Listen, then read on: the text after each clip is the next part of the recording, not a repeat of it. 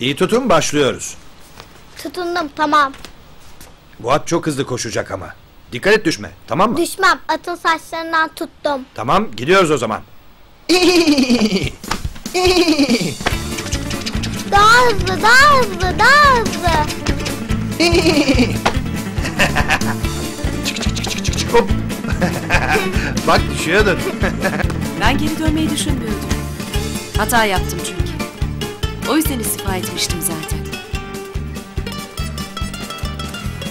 Fırat Bey rica edince... Naz'ı söyleyince... Bir dakika bir dakika. Fırat Bey mi istedi senin dönmeni? Evet. Onun için geldim.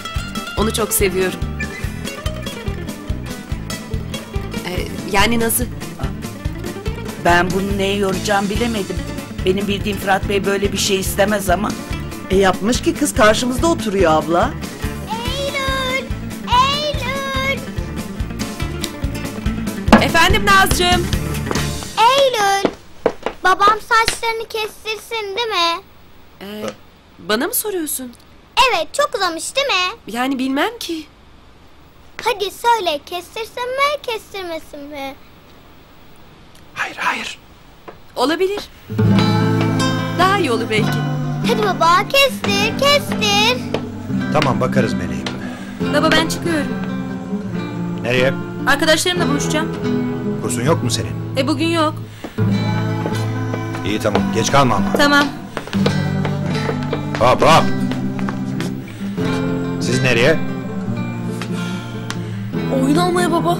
Oradan da okula işte.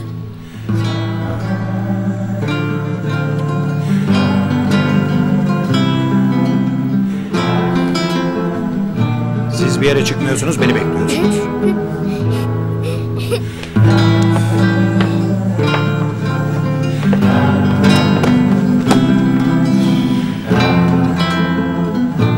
Fırat Bey nasıl keselim saçınızı? Vallahi arkalarını, yanlarını, tepesini kısaltalım. Biraz kısaltalım. Peki gençleri ne yapalım? Ege'nin yanlarıyla arkalarını alalım. Bora'nınkini toptan kısaltalım.